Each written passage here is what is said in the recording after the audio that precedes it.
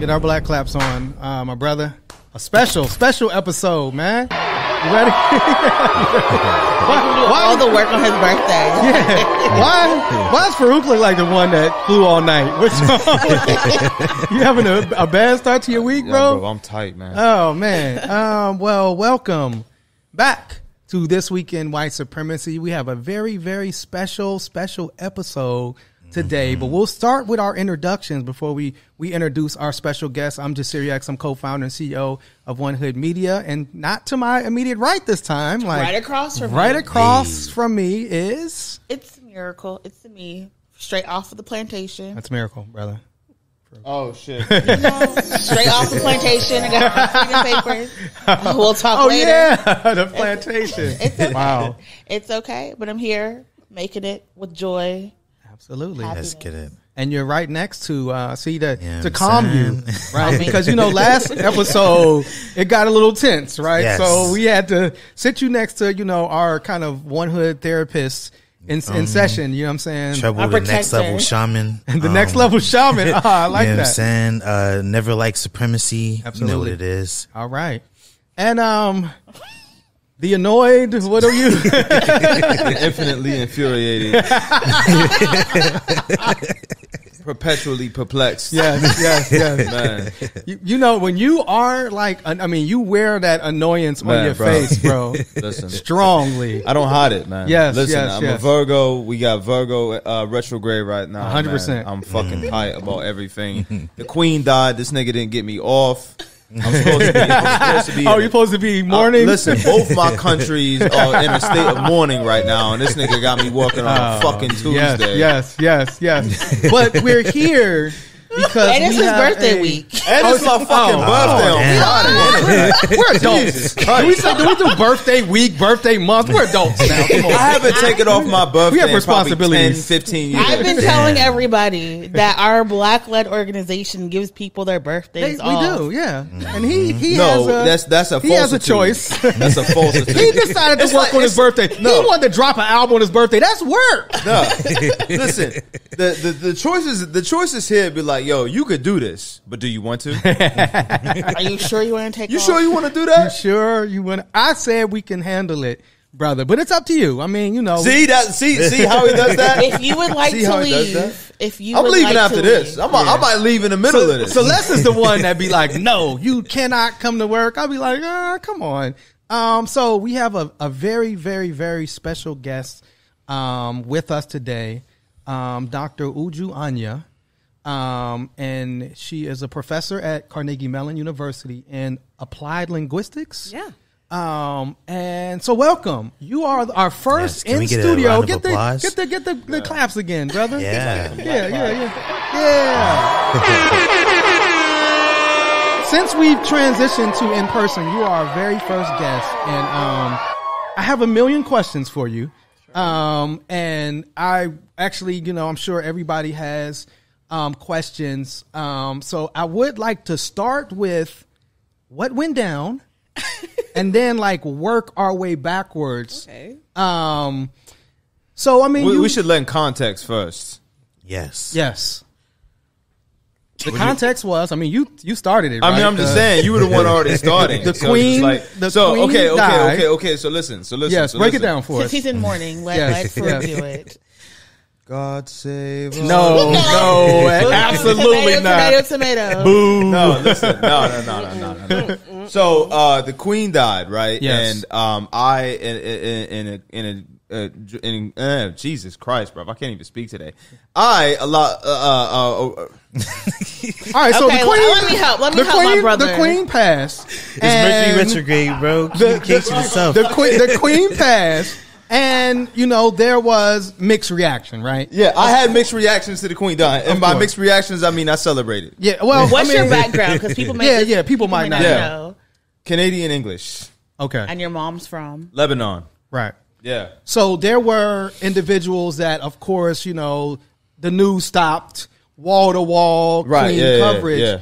But there were other individuals, particularly those people who were directly impacted by who were colonized, who were you know subjugated by the crown. Right, right, All right. black and brown people around the world. right, te- like terrorized. Like we Te- have, absolutely. The reason we Yeah. all speak English is because of the crown. Right. We we have a um a a person in in one hood that's Kenyan, right? Right, yeah, yeah, um, yeah. Um, our, our brother Vic, and he had a a very long, detailed post. Um, and it was stuff that I didn't know that I learned. Yeah. Uh, uh, particularly about um what happened in Kenya that I did not know. Um, and so, but I, I know you got on African and Indian jewelry. I know that's not yours. You know what I'm saying, Queen? so, um, so you know, um, Dr. Anya, you got on the Bird app. Oh my goodness, that, that app. oh, oh, okay, okay. I man, And so you just, you know, Well, she did you hadn't did died. you Okay, she hadn't died. Okay. She had not yet died. Right. And um, you know, I wake up in the morning. I'm s- I get my children off to school. Right. Um, and I'm still sort of in bed-ish and trying to move in my day. come a little closer to the mic, please. and I'm um, I'm looking through the news, and the BBC was reporting that she was in some sort of critical state, Right. with imminent death. Right. And I uh, had an emotional reaction, um, Absolutely. and had an emotional outburst. yeah. I was triggered by this news. Absolutely. It went in deep places of pain and trauma for me uh, due to my family's experience with the rule of this monarch. And I went on the Bird app and I shared my feelings Right. in an emotional outburst that was not planned. It was very spontaneous. Right.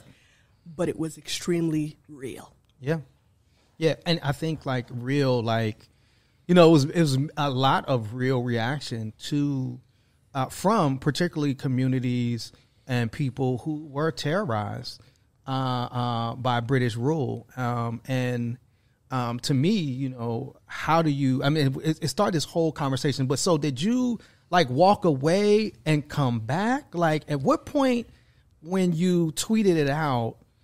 that then all like obviously then everybody starts with like were you watching this in real time or did you kind of like set your phone down do some running around come back and look and was like oh my god what did i tweet or Well, I was going to teach my seminar. I have a three hour seminar on Thursdays. wow And um, I was also prepping for that. So this is sort of my morning, you know, getting into my day, looking at email, looking at Twitter, you know, doing all kinds of things.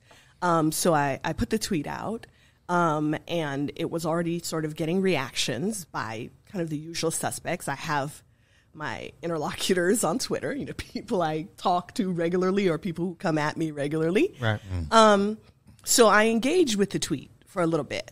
I didn't just kind of put it out there and go because then people started to immediately attack right um, because it was something that uh, some perceived as um, outrageous for me to have said. Um, and I engaged in some back and forth and responding to some people that were saying this and then other people that were saying uh, other things. So it was uh, a bunch of exchanges that I had underneath that tweet. And then um, it was time to, you know, log off and go mind the business that pays me. So I went to prep for class and eventually go teach my class and, you know, turned off my phone and went out for three hours. And then when I came back was when I saw that the world had exploded. yes yeah so like it like like And I saw Bezos. Absolutely. Um, so you're at that point when you like go, I guess on on Twitter and your notifications are like off the charts, Yeah. and and you see, you know, we're talking about Jeff Bezos, right? We're talking about arguably the wealthiest man in the world now. Um, really, because then he has a following, right? Yeah. So what I saw first was sort of the responses to the immediate tweet. Right. Um, and then I, you know, I I made the second tweet, which was a follow up to that, saying Absolutely. that I, I, if anyone was expecting me to do anything other than or say anything other than what I did, Yes. then they could just keep wishing upon Can, a star. can, can I can I read that? Please do. Um, because this was when I this was when I jumped in with my retweet. I don't know what that means, I was like, "Oh yes, this is the energy I'm feeling." Uh, if anyone expects me to express anything but disdain for the monarch who supervised a government that sponsored the genocide that massacred and displaced half my family, and the consequences of which those alive today are still trying to overcome, you can keep wishing upon a star. yeah. In other words, I said what I fucking said. Right, right, right, right, right. Straight like that. Come on, yeah. yes. See, I want to because you are a professor, a doctor, an expert um, in language and language learning. I've always said that we do not have the language or the education to really process a lot of issues, especially when it's the people who have been hurt, oppressed, and harmed um, have the mic. And so when you're going and you're talking, I mean, you didn't say anything, in my opinion, problematic. I, the way I talk about people who have harmed me, you you are a saint for a co- comparison. Um, and so when you're seeing all this visceral reaction, is a part of it like this is why you're mad? Well, uh, m- I don't know. You, you should know sort of my backstory on Twitter. This ain't my first dragging. Correct. Like I get regularly, you know, attacked on Twitter. Um, this is sort of the the existence of a loud black woman on Twitter, unapologetic, feminist, left leaning. So I- I get it from sort of multiple corners, right? So it's not. I mean, I was surprised at the scale because this had already flown much further than anything I had ever encountered. But it wasn't that different. It wasn't your first rodeo. It You're was like- not my first rodeo. Like I've been down this before. this is this is Twitter for me absolutely. it, regularly. I remember uh, my worst Dragon well till this one was, you know, when I said that uh, Squid Games was racist. That was a dragging across like Oh, wow. continents in 40 languages, you know? Uh, I said the portrayal of the Pakistani immigrant, uh, the way uh, that they had him sort of groveling, deferent, and I still the haven't seen Squid Game yet. yeah the storyline episode, things like that so that was it, it wasn't d- abnormal for me You just kind of blew my mind, you know, until you said it. Didn't realize who she was. No, I, I'm saying like the show because it like that's that would you know if this was if Squid Games was like white people that would be the black guy. yeah Kind of that you know um, archetype of like the mystical protector black person that looks out for like Yeah. the star white person. And until you just said it, I never thought of it like that. No, that's that's Now powerful know how I analysis. he the was wire. he played the mm. Don't start miracle.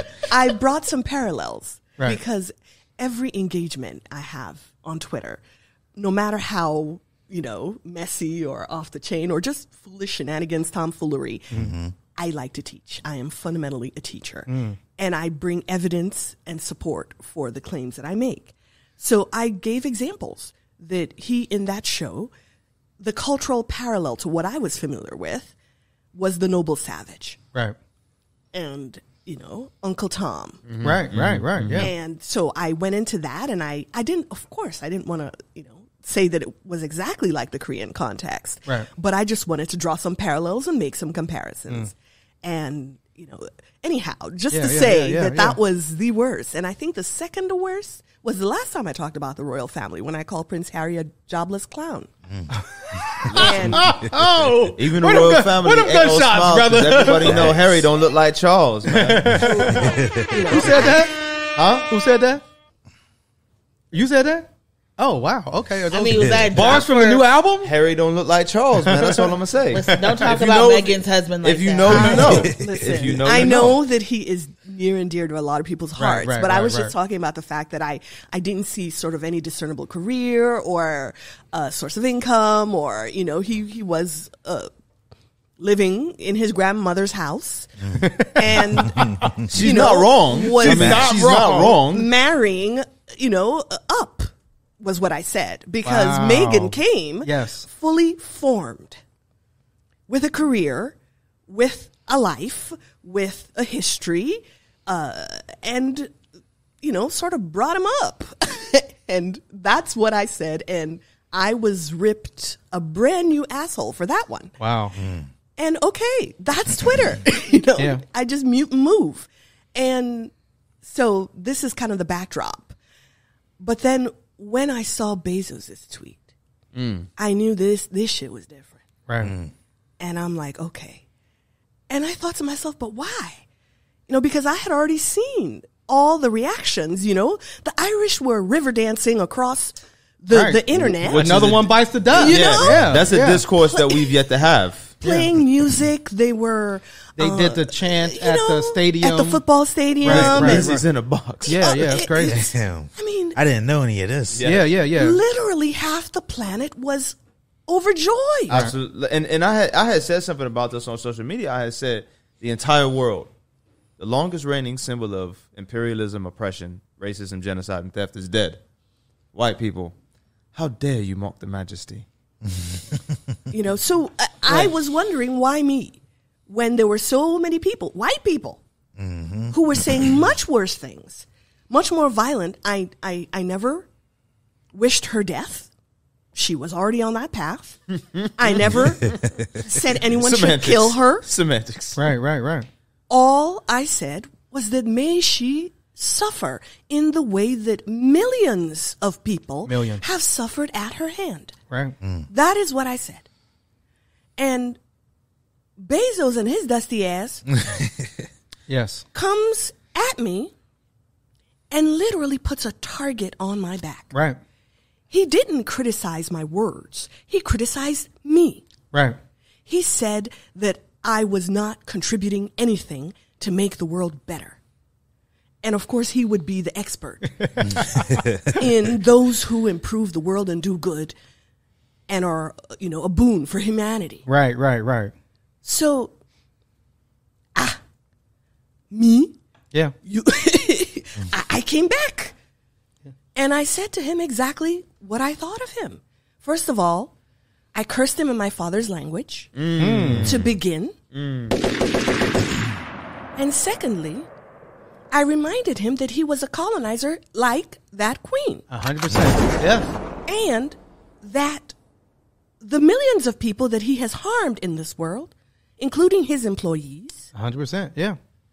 will remember him just as fondly as I do my colonizers. Wow. Mm. And he That's- didn't he didn't quote tweet that one, huh? He did. he stepped off his phone on that and one. and funny enough, Twitter detective agency is a, a, a brilliant thing, Right. you know, because I didn't even have that on my mind, but apparently, like within the hour or something, somebody linked it to the fact that previously, because people were asking the big question, why her? Why her? Right, right, right. What in the mm-hmm. world would Jeff Bezos know about Uju Anya? Like, how in the world would Uju Anya enter into the eye of Jeff Bezos? Right. Mm-hmm. And, you know, Twitter Detective Agency pulled up a tweet that I had made a couple weeks back Yeah. at Netroots Nation, Yes. where I met Chris Smalls and I took a picture with him. I was overjoyed. I was elated. Yeah. I find him to be a remarkable young man, and he has achieved what was seemingly impossible unionizing a whole Amazon warehouse. Absolutely. Yeah. And I tweeted my joy at having met such an extraordinarily powerful and brilliant black man. And I put the picture, went about my business. That was like weeks ago. But then Twitter Detective Agency raised that up and said, ah, here we go. Right. Why he chose you. This is how I entered that man's eye, Yeah. and not in a good way. Right. So I do not presume that Jeff Bezos knew my name or that I existed. However, he pays people Yeah. to track Chris Smalls and his activities and the activities of the Amazon Labor Union. And I definitely pinged on that their radar with that tweet and that picture and Right. the praise for the man and his work. Right. And so, absolutely 100%, Jeff Bezos and his small, petty ass came at me, exposed me to threats, to danger, True. Put a big old target on my back for mm. his 5 million followers. Right. And if you can think of like the influence he has, a single tweet of his would have millions of impressions. hundred percent. I mean, his influence is outerworldly. Right. And he put my tweet there Right. with my words, my picture, in the middle of a storm already brewing against me. Right. And he told the world, I ain't shit. Yeah. Let me tell you, my inbox within like five minutes, 500 emails, just like that. I had to disable the contact me button on my website Wow. because people were coming in there calling me everything, Sure. you know, but my given name. I don't open any of those emails, but they put it already in the subject line. nigger, nigger, nigger, nigger, nigger, Right. Right. Right. cunt, bitch, Yeah. genetically inferior. I mean, I heard all kinds of things. You know, it's just like, eh? Jeff Bezos did that. Yeah. So Didn't you have a song about that? I did do a Yes. song called Rob Jeff Bezos. I don't know if you ever heard the song, but uh, And, di- and di- didn't you say something about some uh, some people in Nigeria too? yeah, yeah, actually. Um, Could you give us the ball, Wow, please? wow, damn! This is kind of a full circle moment. Um, I say looking out the window uh, with the Draco fully loaded, planning how to rob Jeff Bezos. How much is one trillion when converted into pesos? Turn half into naira. I got family in Lagos. And th- this is artistic expression. Of course, This is yeah, it's art. Artistic. It's art. I'm not trying I to be Rico or Yeah, no, yeah, no, no, no, But no. that was, That's the rap you know, that was I, I put that out in 2020 in the midst of I, I I wanted a song to kind of encapsulate all I was seeing at that moment. Yeah. you know, particularly following the deaths of Ahmaud Arbery, Breonna Taylor, George Floyd, and to me, one of the things that hadn't been talked about and still isn't talked about enough to me is the transfer of wealth that we saw happen during this pandemic, where individuals like Jeff Bezos. I saw an article that said. Um, that you know Amazon and Jeff Bezos made so much money during the pandemic that he could give every single employee a hundred thousand dollars and have as much money as he had pre-pandemic. Yeah. So it, it's it's fascinating, um, you know, because it, then it it kind of brought this conversation, like you know, and and and one of the things that I I loved about it, um, and and hope that like did you because you saw uh, obviously you know like you said here's jeff bezos who targets you Yeah. um uh, um for for a, a lot of these reasons um including you know um you're you're you're bigging up uh, uh, chris smalls and then all of these white supremacist racists kind of come out of the woodwork but then you also had um, particularly black women on Twitter, like really rally behind you. Absolutely. And then they Absolutely. started to take on because I seen Yeah. somebody say like, "With, uh, Jeff, when you we already got the party planned for when it was your time. Yeah. I mean, we going to we gonna celebrate for a week. So I kind of saw. So did you also see that and like? So at that point, they had cut me off of Twitter. oh, really? Yeah, my suspension. Oh, so you were suspended for that tweet? Yeah. Not the tweet against um, Bezos, the one uh, About- talking about the Queen. Right. Yeah. So, first of all, I do not have any intention to rob or support Rob and Jeff Bezos. Uh, me neither. That's a song. You know, this of course yes. this is artistic expression Artistic that I'm expression. listening That to. was Jasiri X. If y'all are and Respect the rap jokes. Hashtag respect the jokes. and I also I don't deny Jeff Bezos money. Right. Right. He owns a business. 100%. He should earn from his business. absolutely right? Also, the people that work for Jeff Bezos, I don't want them to lose their jobs either. 100%. He's supporting the livelihood, you know, of a million employees or Yes. et cetera. right. Right. We'd like them to What? have breaks exactly. Mm-hmm. and be able to, pee. right and be able Yes. to have a livable wage. Exactly. But like you said, we're not trying to take No. down Amazon. Not at all. Right. If I, you know, if we are trying Oh, to take Miracle? down Amazon, Miracle well, said that. Well, I don't know. I mean, I'm just I'm just saying that you know I am not here Right. to you know take the the food out of the mouths of people who work for Jeff Bezos. absolutely I am like Chris Smalls and other people just asking that they be treated better. Yes. And their rights as workers be respected. Yes. So, you know, that.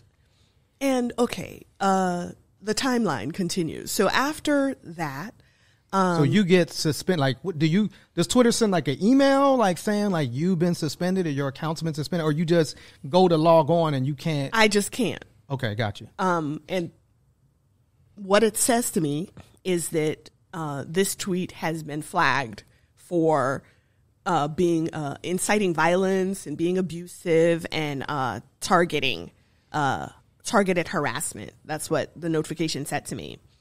And then it said that, uh, do you want to delete it or do you want to appeal? And I said, appeal. And I wrote down, you know, my reasons for not wanting to delete it because I did not agree that I was inciting violence, nor was I engaging in targeted harassment. Right, right. Um, but then while they're processing your appeal, you're locked out of the system. So you can't get on. So it, you know, so the aftermath when um, black women started to ride for me and uh, start to get attacked themselves, and I didn't see that because that early I was already out Right. and I was out for almost a week after. So everything I saw happening on Twitter was secondhand through my partner, Dr. Sirry Alang. And she was the one kind of reporting to me what was going on. And, you know, and of course, at this time, I had already had calls from, you know, my um, administrators and, and things like that, uh, saying that um there there would be a response.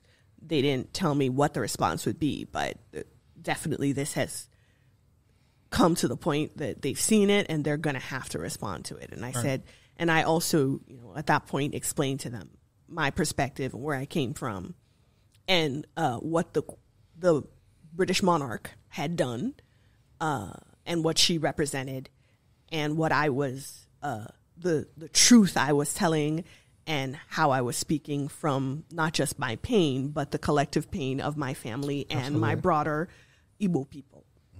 So, um, you know, I told that to them, and then they said okay, and and that was it. Uh, whatever else I heard from them was when I was hearing it on the news, along with everybody else, or when I saw the statement being uh, released, etc. Absolutely. And um, there, so uh, I had two more questions, and I want to open it up. Um, has this experience changed the way? Because, like you said, you kind of go in, you use Twitter, um, you you kind of almost like prepare you you know, Yeah. like you said, to teach when you go in there. Has this experience um, changed the way you're looking at engaging in social media, or do you intend to continue to engage in the way you have?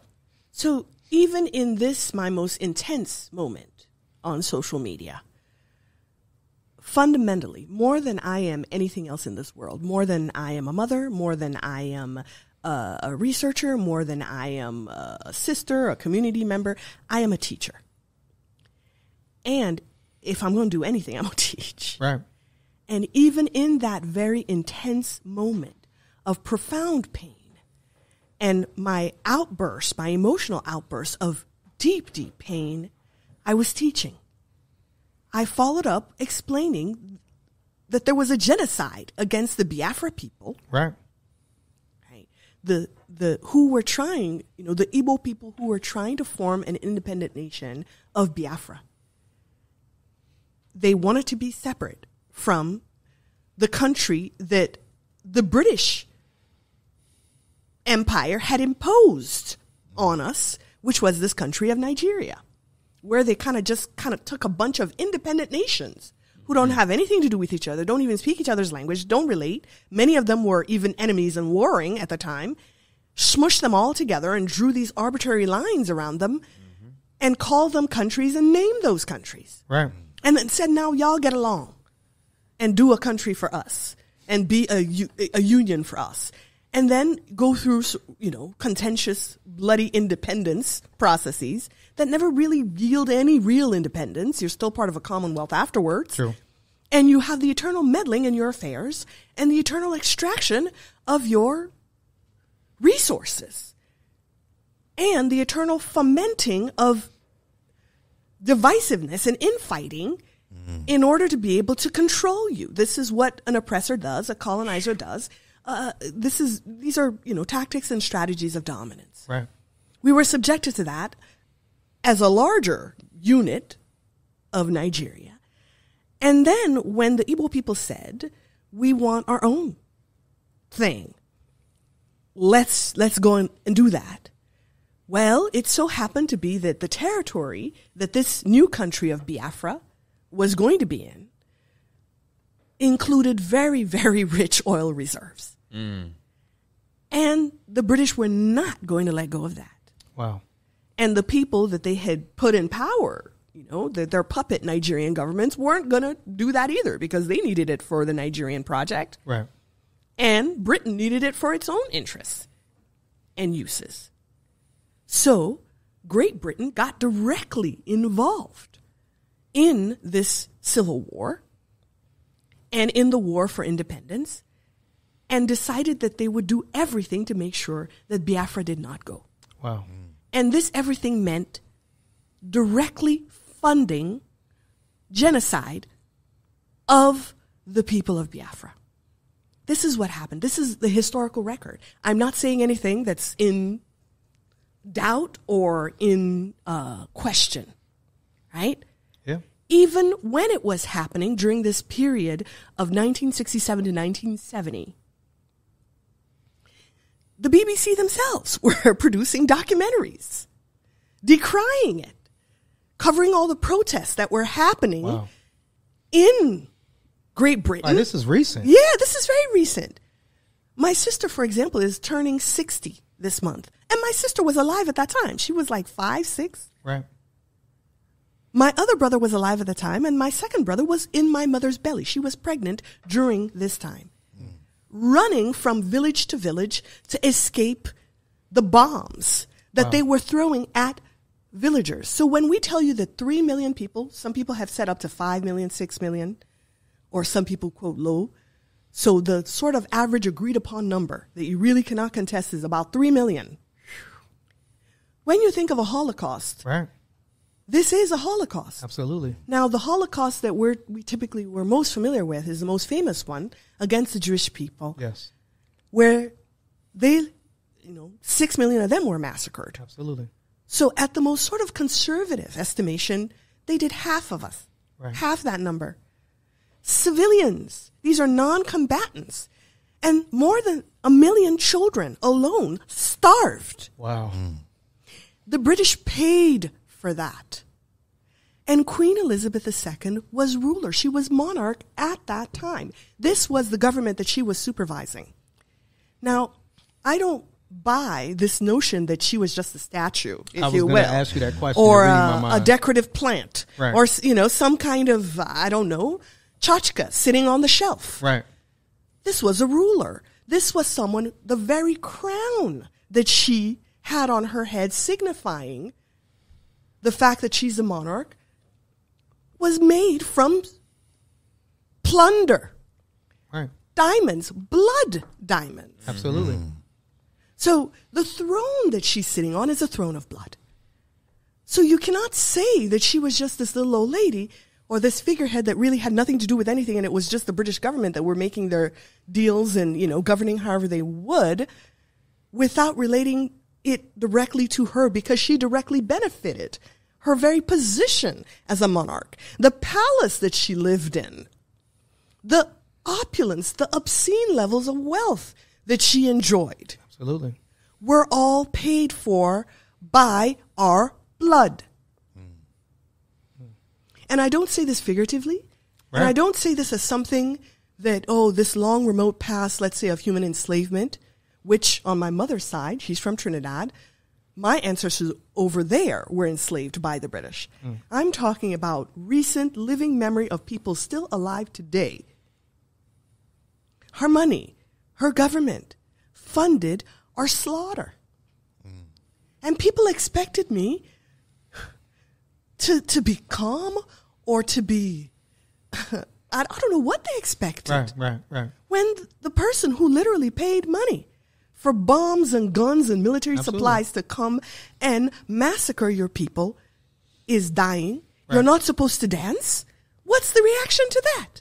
You know, I remember when um, we found out that Osama bin Laden was killed, and Americans celebrated, right? Because they held him responsible for 9 11, which just passed, and that terror that occurred and those 3,000 or so people that, that, that died. Yeah. And it's like, but when it's our terror, when it's our pain, when it's our loss as black and brown people, and we, particularly when we express it in a way that challenges, you know, white supremacy, um, the white supremacy dominant narrative, and this, you know, kind of almost like Disneying uh, idea that people had of a queen.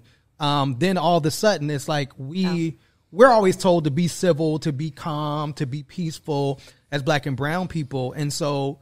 But when it's somebody that you feel harmed America, you can dance, you can celebrate, you can take out your Absolutely, flags, yeah. and that's uh, that's held up. You can have a, I mean, you know, lynchings were celebratory things in the history of the United States of America, where they would they have a parade and party and And take children. Right, An entire family would go and enjoy the spectacle of 100%. murdering black people. A hundred percent, a hundred percent.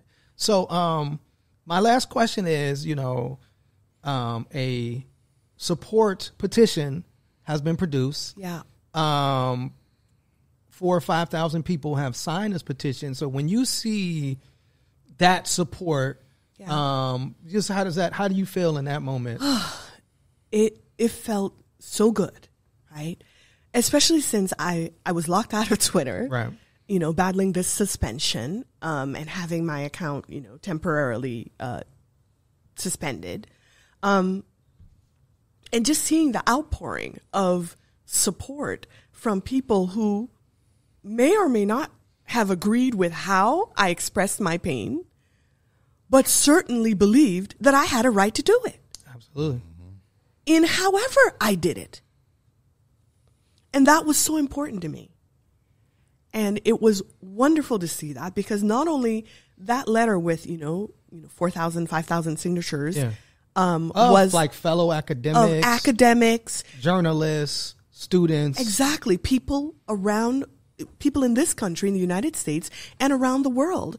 And it wasn't just academics, it was professionals, it was Right. community members, students, you know, all sorts of people were there saying, We got your back. Absolutely.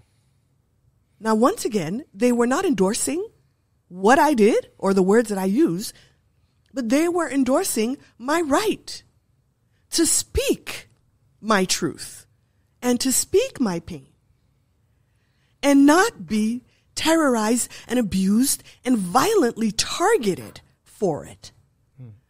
when Jeff Bezos put that target on my back. Absolutely. And then, in addition to that letter, there was also a letter from my colleagues at my university, other faculty, staff, other employees, with more than 100 names on that letter as well. And then a, another letter from students Wow. at Carnegie Mellon who filled, last time I looked, like eight pages of signatures. And not even on a list form, in like block text, Wow. one after the other, thick. Beautiful. And even on campus, they stra- spray painted on sort of the main quad. There are these, uh, there's this wall, this white wall, where they spray painted RIP colonialism on one side, and on the other side, let her speak. These were Carnegie Mellon students who did that. So when I saw all of that, the, the, the outpouring of support from the broader academic community and in general, people outside of my institution, along with my colleagues at my institution and the students that I serve at this institution. I cannot, and I'm, you know, a words person. Words are my business. I'm a linguist. I cannot even find the words to tell you just how thankful and grateful and joyful mm. I felt Beautiful. in such days of pain, mm.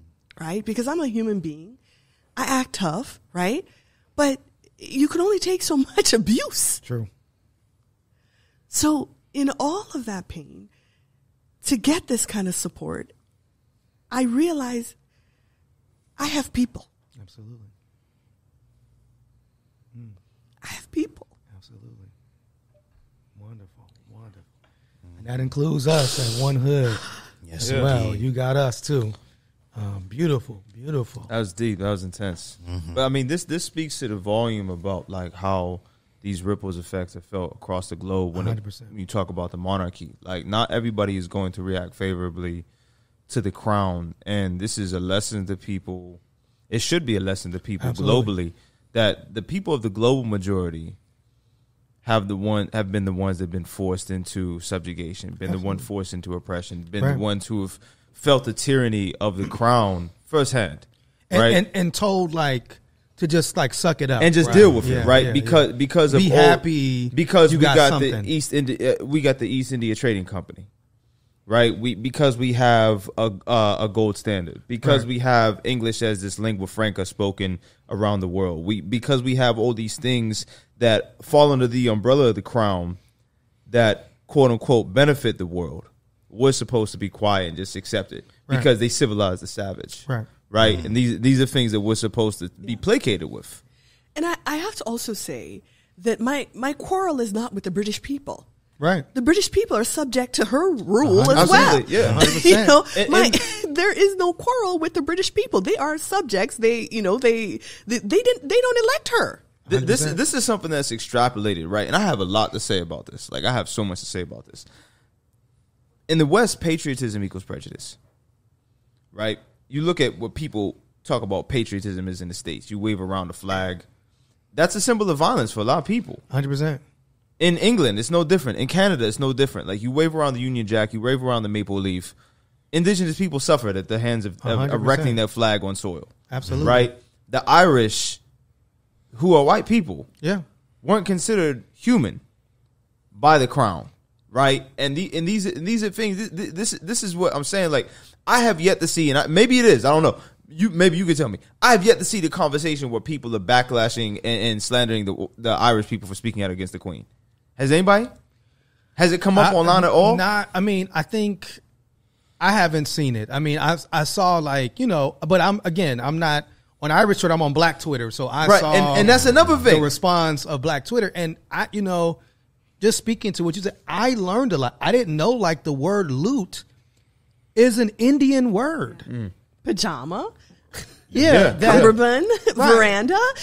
yeah, but but but that like it was like attributed to the fact that they took so many diamonds Ah. from India. They looted. Right. Yeah, and, yeah, and, yeah. and so I, I think I, you know, of course I laughed, you know, when you had mentioned um, what you said about um, uh, Prince Harry. Um, it reminded me of the tweet um, uh, that somebody had said about the uh, Queen, like never having to pay rent. Yeah. And mm-hmm. like, you know, basically was just like, you're just, you're just, you're just living off vibes, right? You know what I'm saying? Yeah, like, yeah, yeah. And then they dragged me for calling him jobless. Right. They said this was the tweet. Can't stop thinking about how that lady lived nearly hundred years, never had a job, never paid rent, just lived off public dollars, stolen wealth, and vibes. We've never seen anything like her. She just might be the greatest grifting parasite the Oh, world shit. has ever seen.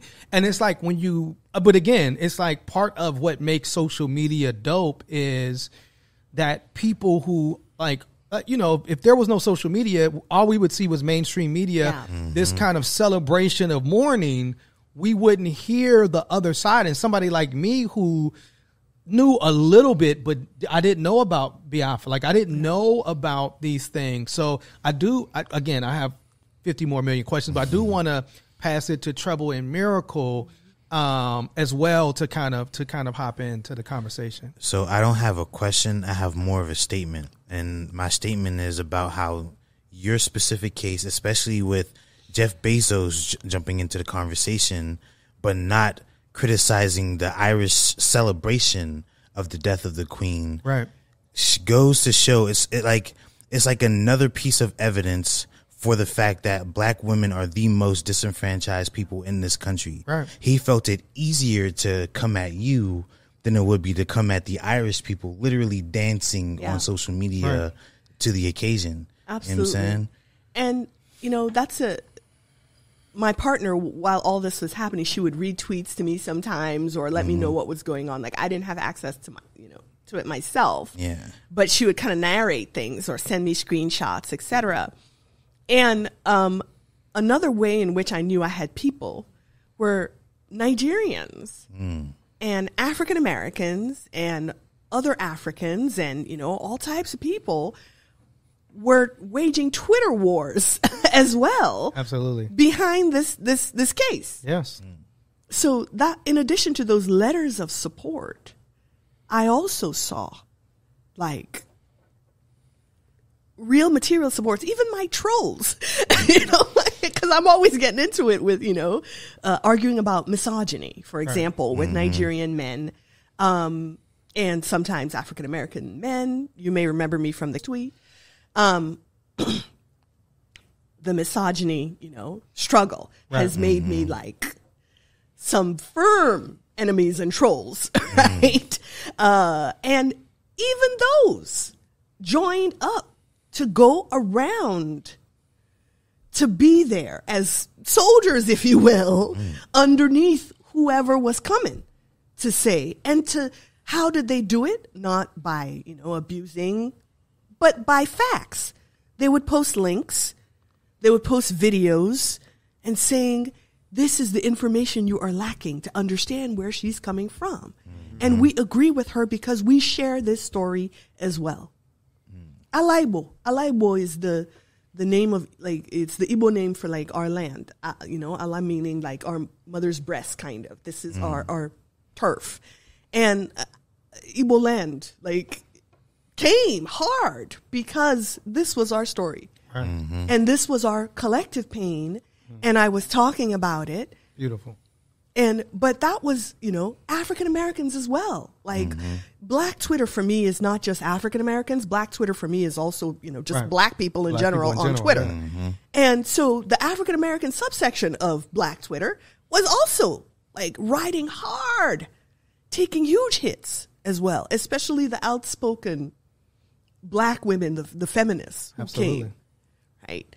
So I was hearing this, like I wasn't seeing it, but hearing it kind of vicariously and also feeling that there was a lot of support in the letters, but a lot of support sort of in, you know, on ground as well, where these battles were happening on Twitter, on Facebook, and elsewhere.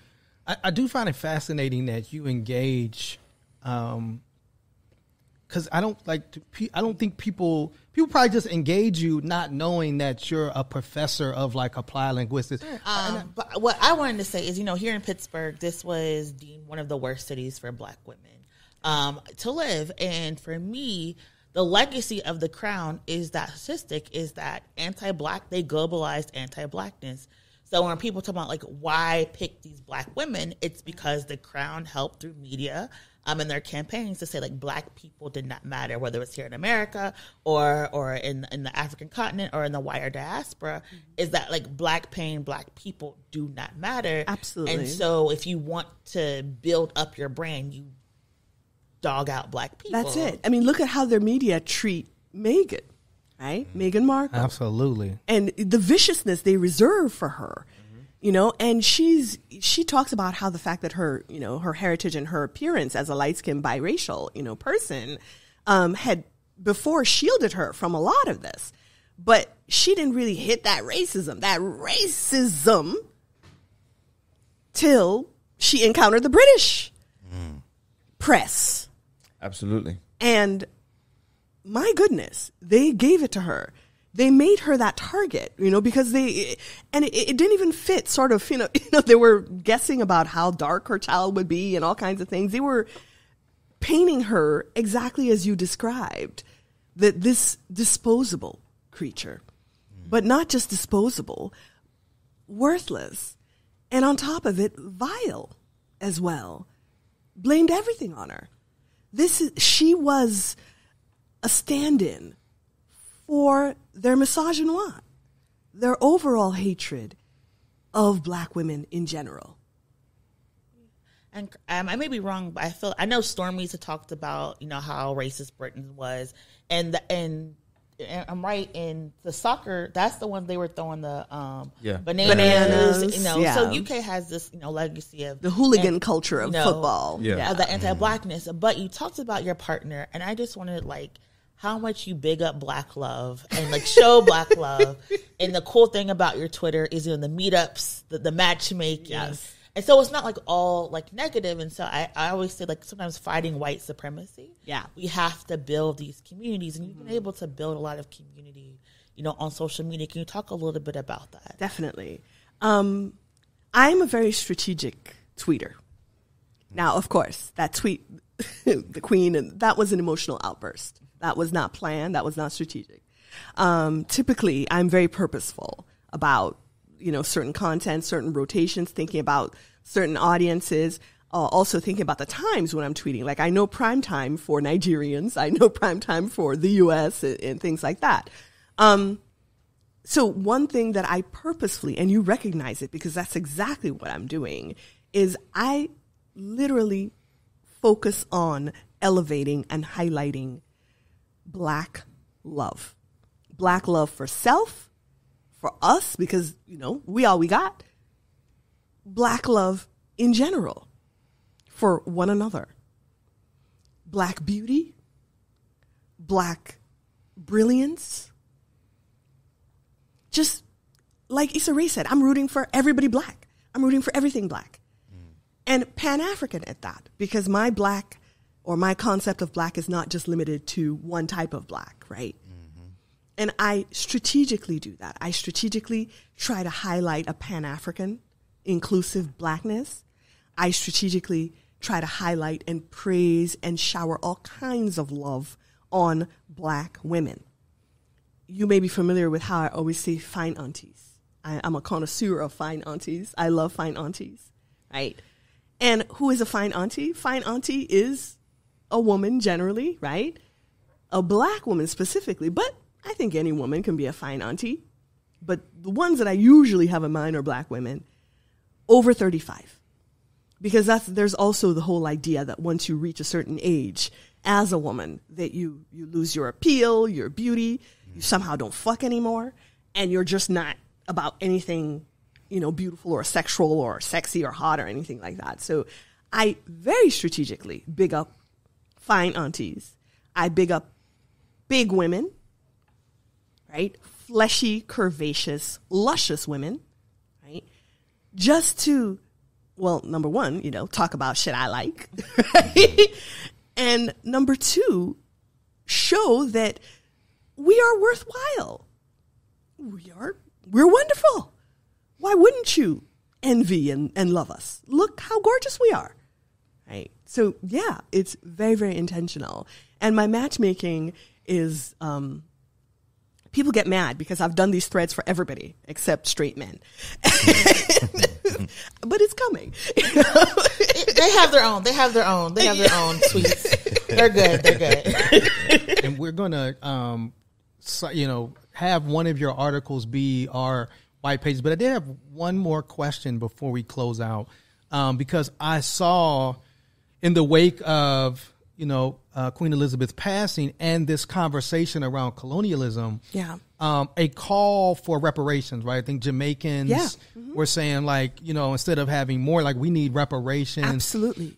um, you you spoke, you know, eh, you taught us about this very recent history, Yeah. uh, around Biafra. Is there a movement or calls for some type of reparation? Because you know we've seen reparations happen uh, with with the, uh, the Holocaust of Jewish people, Absolutely. deservedly so. You know, I, I, you know, you mentioned, you know, I'm part of the National African Americans Reparation Commission that was started by uh, Dr. Ron Daniels. Absolutely. First of all, the queen never once apologized. She never once opened her mouth to say sorry. Everybody, the history records know what happened and what was done in her name and for her crown. Not just to the people of Biafra, but you talked about the Kenyans, you know, the Indians, the indigenous people, right? You know, Native Americans. So it's just never once have they taken responsibility and just said sorry? So what I am advocating for and what a lot of Igbo people are advocating for, number one is to just recognize what you did mm. and say sorry. And then we can move on to conversations about what does reparations look like. It could look like leaving the oil alone. Right. It could look like, you know, actual payments and repayments, you know, of the compensating the 3 million lives that were lost. Right. I don't know. We haven't even gotten that far yet because we can't even get them to admit the shit they did. Wow. Man. And how does that feel as a language professor to know it's so like you know it could all be so simple, Yeah. and then just that refusal. Mm. They continue to dehumanize us. That's what it feels like. Hmm. We are not even human enough to them to sit down with them as equals and say, This is what you did to us. And they recognize it and say, Yes, this is what we did, and we're sorry. Even though it's open record, the fact that they never open their mouth and sit down with us and say it shows that they continue to view us as less than and undeserving of the common acknowledgement of our humanity and our dignity to say, yes, we harmed you. And we're sorry. Powerful, uh, a powerful way to end. and that's why we call it this week in white supremacy. Absolutely. Yes. Um, This this was this is a perfect uh, synopsis of the theme of this show. and um, the article we're going to share um, as our white pages is a, a recent um, article. Um, um, Dr. Anya just wrote "Critical Race Pedagogy for More Effective and Inclusive World Language Teaching." Um, asking folks to you, you said you liberated this article from behind. I did. It was behind a paywall, and I used money from my research funds to pay the publisher to not put a paywall on it because I believe that the teachers that I work for and I write for uh, who benefit from my work and who I also benefit from the work they're doing because they provide me with material for scholarship and Absolutely. investigation. I believe that they should have free access to the results of the work I do for them and with them. Well, we, we greatly appreciate you doing that and appreciate you taking the time. Uh, I know you're busy. I know you've been kind of bombarded with media requests that you would take the time to come and sit with us and um, be so passionate, so vulnerable, um, and so open about his journey. Um, and we're thankful to have this relationship with you now and looking Yes. forward to continue to support the incredible work uh, that you're doing at, at Carmel- Carnegie Mellon University Thank you. Um, and onwards and upwards. Um, I'm in the Modern Languages Department in the Second Language Acquisition Program. All right. Um, any closing thoughts? And I know we got we got some announcements. Treble. Um, I just want to say I am extremely grateful for you sitting down and talking with us because you taught me a lot just by listening to everything that you were saying, and you provided not only us but our viewers with the context Yeah. that is needed to understand why there's a mixed reaction to the death of the queen. So thank you. Thank you. Thank you for having me here, for hosting me, and thank you for, you know, being my entryway into Black Pittsburgh, where right, I want to dwell. Oh, that means two things. Let's things. get it. Come on, let's go. That means two things. BlackPittsburgh.com. You know what Yes, yes, yes.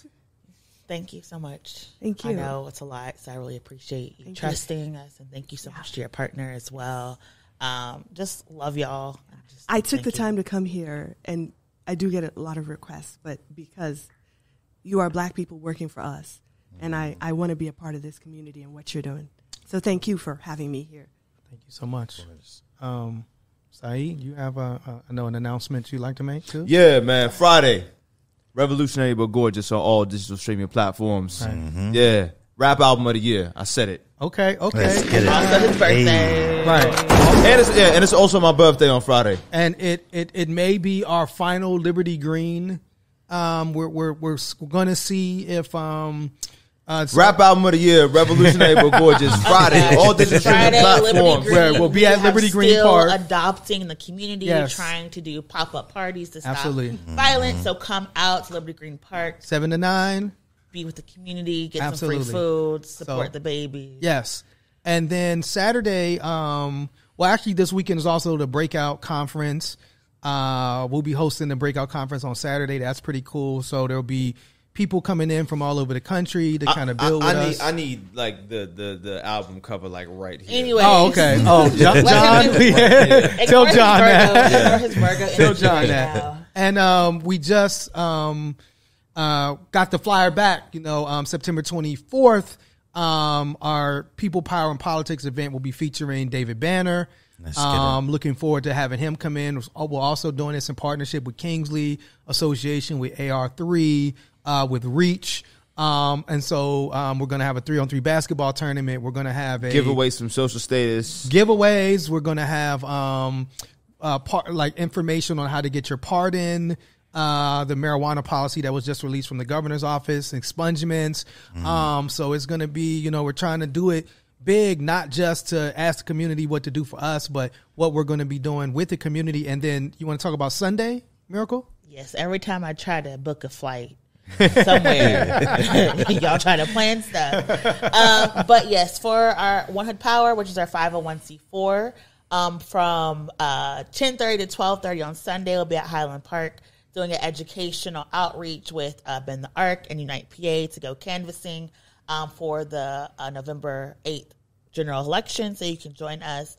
And if you go to the 501c4 page, 1Hood Power, you'll find some information about that. But you have until October 24th to register to vote here in Pennsylvania.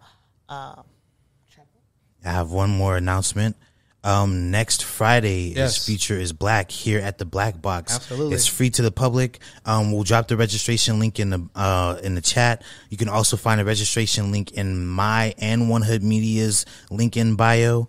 Um, there's going to be free food. There's going to be art that you could purchase. There's going to be performances. There's going to be interactive art. It's going to be an amazing time.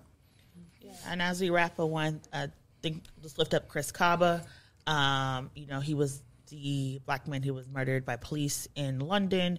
You know, his his protest has kind of been drowned out due to the death of the Queen, but lifting um, lifting him and his family up as well. We also want to give our love, support, and condolences to the family of PNB Rock. You know, our Yeah. Philly brother and artist. Um, just a lot going on. So just please make sure you're loving on each other with consent. You know, showing up for people, and just let let's get through this year, y'all. Absolutely. So till next time, this has been this kind of this week in Black Excellence because we had some Black Excellence Yeah, come yeah, yeah, through. Yeah. Um, so we gonna have to switch it up. It's Black Excellence this time. So we'll see y'all next week. Peace. Peace. 1Hood, y'all. Take care. Out here popping, we them lords, you can't stop us. Uh.